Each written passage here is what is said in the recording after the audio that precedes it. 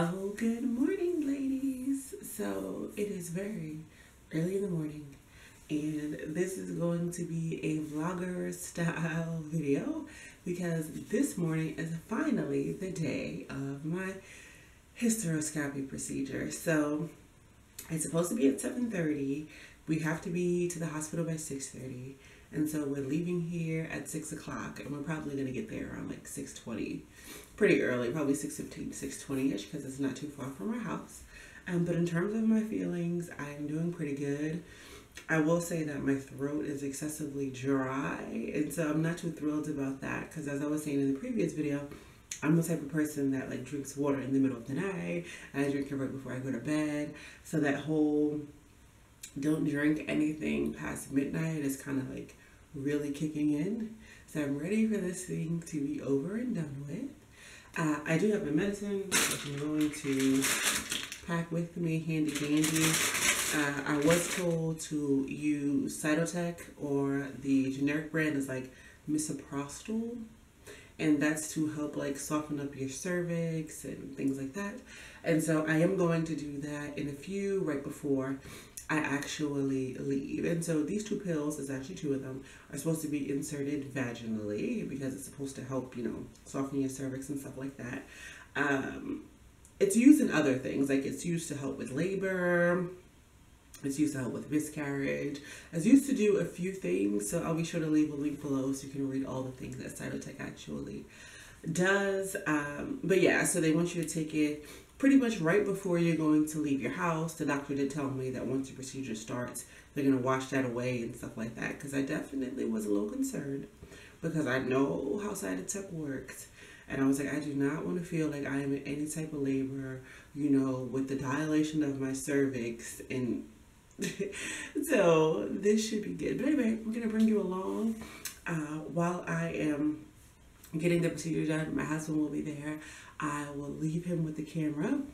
If he actually vlogs something, you should consider that a treat. Uh, but I'm not going to make any promises. So we'll see how this goes. So, and so this is what they look like. They are very small, but very powerful.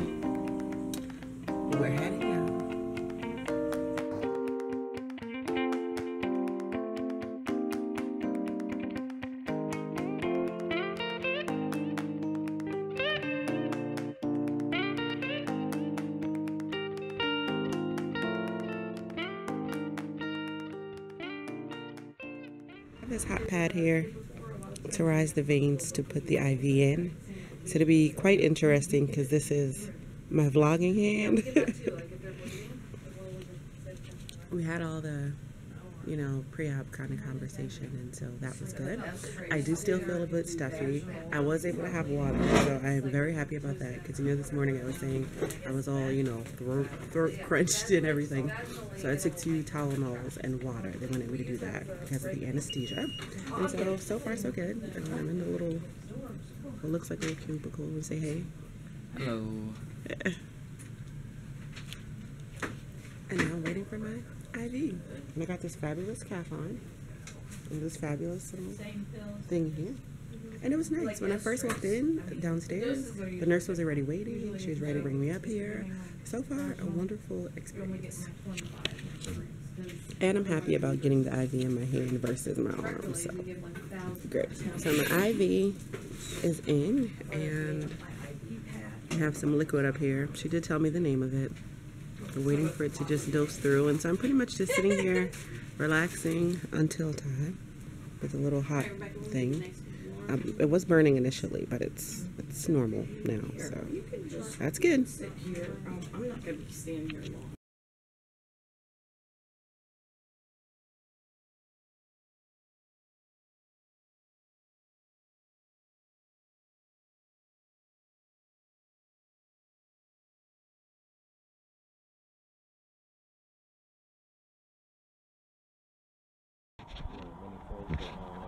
First. Touch that. Um, and a bunch of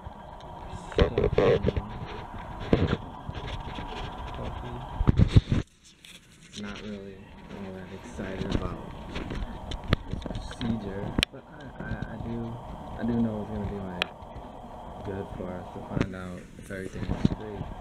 And um, I know we had a lot of ans- uh, questions, so it's hopefully everything goes according to plan. And I know I know everything will be fine. So now it's the waiting game. But I'm pretty good at waiting. I brought my tablet. I got uh, and my music and, uh, and some headphones. So I'm definitely gonna have some good time uh, waiting.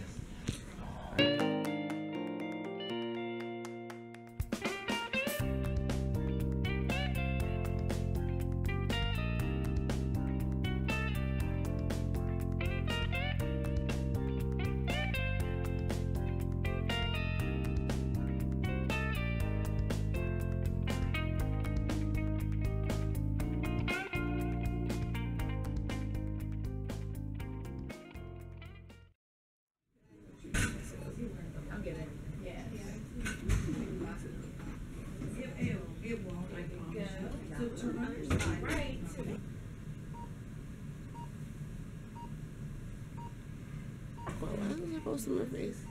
It's further away from you than Did you press the record button? yes. Oh, okay. I'm awake. I've arrived. Where that's it. And so we are all done. This is purple. It's actually really nice. It's one of my favorite color is purple. The camera is not doing it any justice, but on my way back.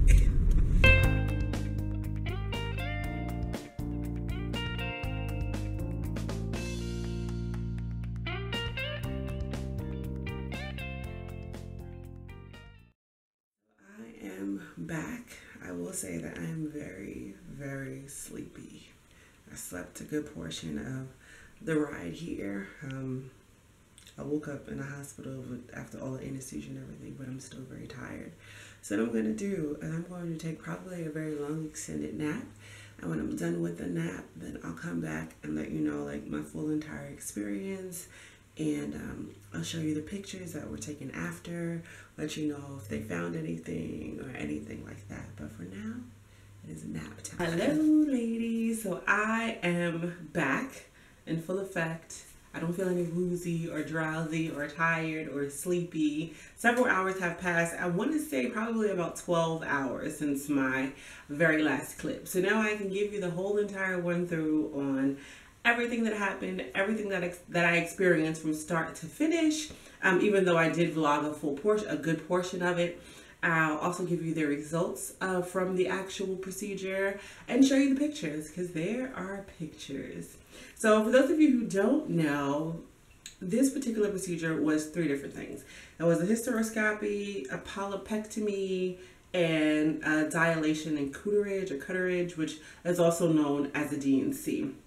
I think I explained before we were using the D part of the D&C and not actually the C.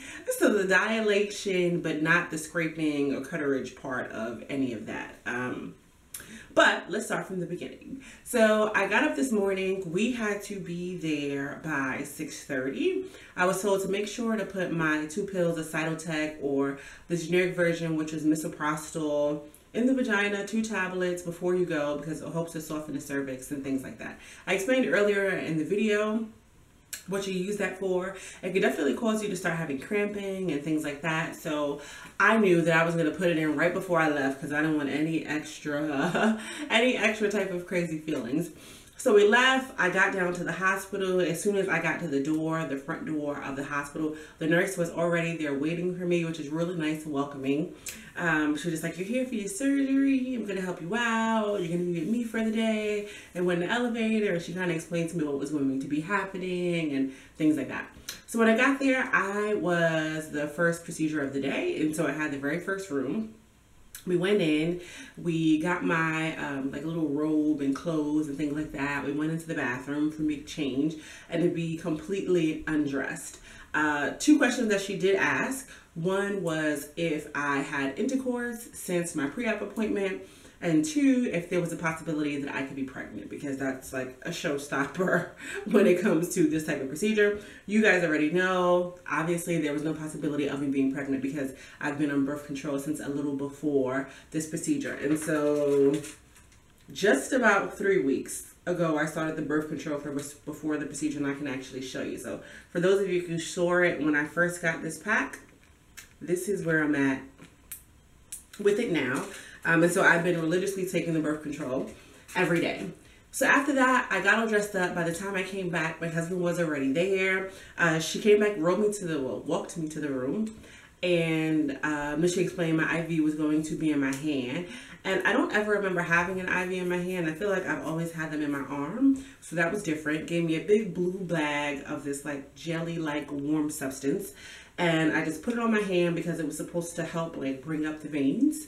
So she came back in, she found a vein, poked it, and IV was in. Nothing too crazy. She was like, "You get my um my IV patient of the week, favorite IV patient of the week." She's like, "Cause this week people were acting totally crazy, yelling, screaming, thrashing, thinking I was killing them," and I was like, "Okay." I well, I've had my fair share of needles. That's one thing that I will say that I'm not a fan of. Like from the beginning of this whole TTC journey, I'm not a fan of needles. Um, but after starting it, although I'm not a fan, I can definitely tolerate them. And so from the beginning of my TTC journey up until now, I've had my fair share of needles. So before where I was a little bit more squeamish and squirmish, I'm much better at that. So kudos to me. So after that, um, they put the IV in, we had a bag on, and that dripped for, I want to say, maybe 45 minutes while they were waiting to get everything set up. The anesthesiologist came in, asked me if I had any food allergies, any medicine allergies, if I ever been on anesthesia, how I was feeling. You know, I also had a cold, so I explained I had a cold, but that really wasn't a big deal. Uh, they did give me water of which I was super excited about because I just could not deal with the not having water. So I did get water and Tylenol before that. Uh, but he came in and he spoke to me about everything, what was going to be done, um, what type of anesthesia I would be under, and where we we're going to go from there. So now the anesthesia doctor, I will say, looked very creepy creepington. Okay. and I feel like that's how most anesthesia doctors look like on movies and things like that. He was very creepy creepington, but he was a very nice man. Uh, so he came in right before my procedure and before they get ready to roll me away, they tell my husband, okay, you know, wait in the waiting room. And when she comes out, you know, we'll let you know. It's only about a 30 minute procedure, things like that. So you guys know the whole point of this, just in case you don't know, was to go in and I'll explain to you what my doctor said happens at that because she told him the pre-op appointment. They wash you up. They go in from a GYN perspective, which is like if you were going to get your um, GYN exam. And they put a camera in there. They look around to see how the lay of the land is pretty much on the inside. And then if they see any polyps, they remove them. Um, if they see anything that causes you to need a full scraping, then they would do that at the time. So this is where I was, okay? I just want to just tell you where I was. This was room number one. And this was the entrance to the operating room, okay? Room number one, entrance to the operating room. Before we're getting ready to roll off, the anesthesiologist says, well, you know, I'm going to put a little something in your, um, in your IV, right? Because he had already put like a little anesthesia stuff in my IV the first time. And when he put it in, it burned. And I was like, whoa, wait a second. But right before that, before we get ready to roll up, he says, I'm going to put a little something in your, um, your IV to take away the edge and stuff like that. Just a little bit of Valium, right? a little bit of Valium. Okay, I've never had Valium before, but give me a little bit of Valium showing up. This is the door. This is this is room one. This is the entrance of the office or the what is this the the operating room by the time i got from right here to right here which was like no time they opened up the emergency room door and all i could do was laugh I was laughing hysterically.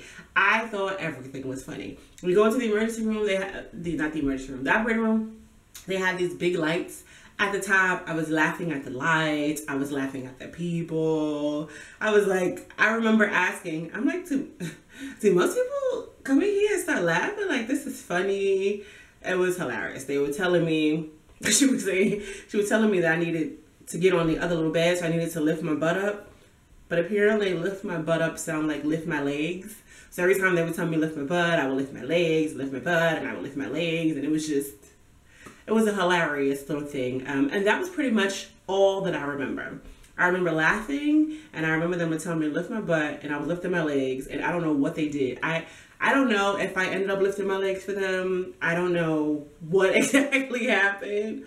But all I knew is in the less than one minute that he put that Valium into the time that I got in front of that operating door, everything was hilarious absolutely hilarious. You didn't have to say anything, and I was totally cracking up about everything. Uh, so I came out of the procedure room, woke up. My husband was there, of course. Uh, the doctor had went and actually spoke to him and gave him all the information. Um, told him if they found anything, gave him the pictures. So he came back and he told me all the information. And so, for those of you wondering, I they did find a polyp they found a polyp on my left side. I will show you a picture of it. And that polyp was removed. It was removed and then they're also sending it to pathology. So the next time I go to my doctor's appointment, they're just gonna let me know like what they found from that particular polyp. But they did find a polyp on my left side. And so I was happy that we went through with this procedure so that we can just get everything going, make sure the lay of the land is nice and clear for everything that we need to move forward with. Um, but overall, in terms of recovery, I slept pretty much the entire time on the ride back. I was still very drowsy from the anesthesia, even though I stayed an hour after. Um, by the time I got home, I slept about three hours as well. And then later on in the day, I slept about another two and a half hours. So a lot of napping today. This is late at night. It's probably about 10.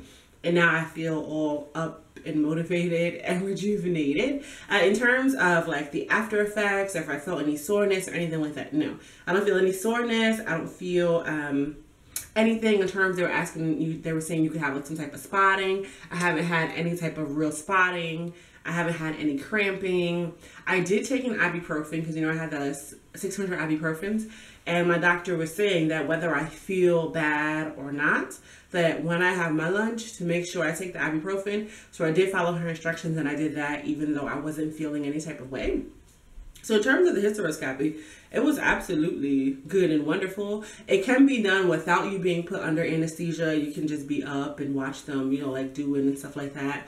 Um, but I just chose not to.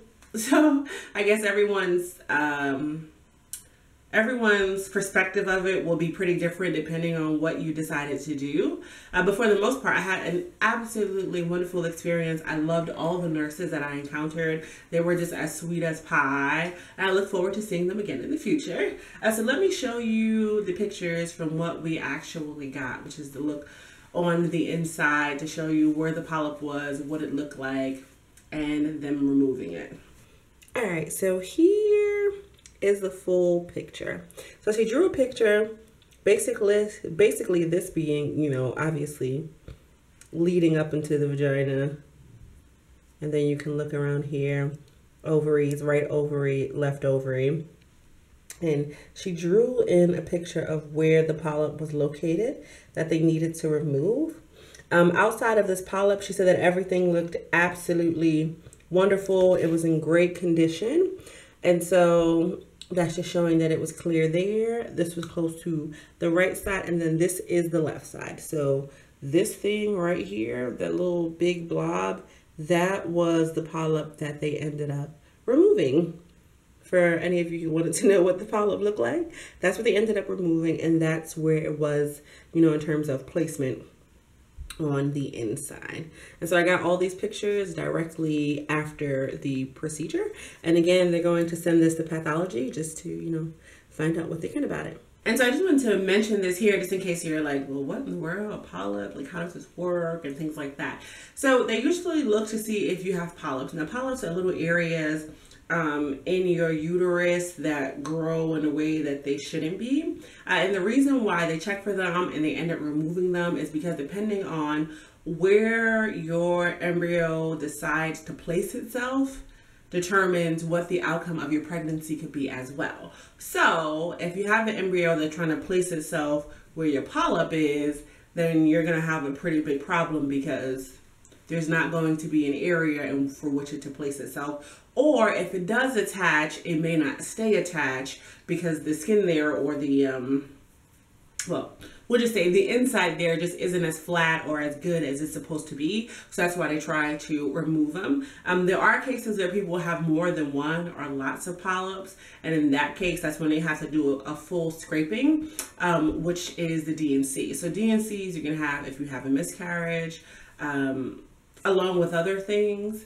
And so the whole scraping process is something that I feel like you only want to do if you have to. So when talking to my doctor prior to the procedure, we had already decided that that wasn't something that we wanted to do unless it was like absolutely necessary and they saw like a million little things happening in there.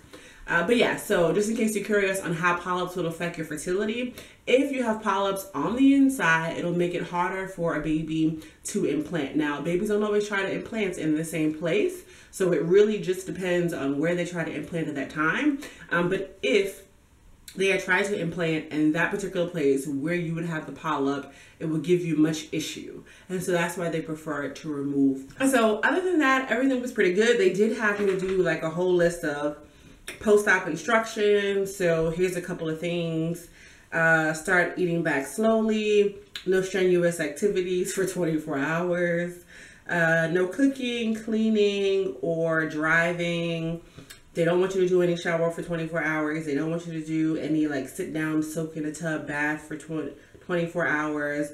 Um, no tampons they want you to call if for some reason you have any type of excessive bleeding because they're really not expecting you to have bleeding at all. So if you have any type of excessive bleeding, they had a number to call and then they scheduled um, my appointment, my post-op appointment, which I already had and just moved it over a little bit.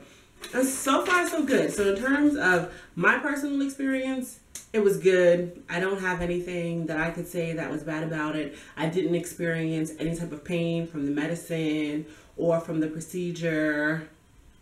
Everything was a-okay. So I'm very happy that I did it and we got it done. And um, yeah, we did it. And so now it's like on to the next thing. There's a lot of other things coming up, a lot of things that require waiting. This is the, the point in this particular journey where it requires lots of waiting. So the next step is waiting some more, but of course I will take all of you along. If you are going to have a hysteroscopy or have had one and you want to list your experience down below, you can most certainly put it in the comments so everybody can see. If you have any specific questions for me in regards to it, you can also list it below uh, and I'll be sure to get back to you and answer all, all right, ladies, I hope that you enjoyed this vlog and I will see you next Monday.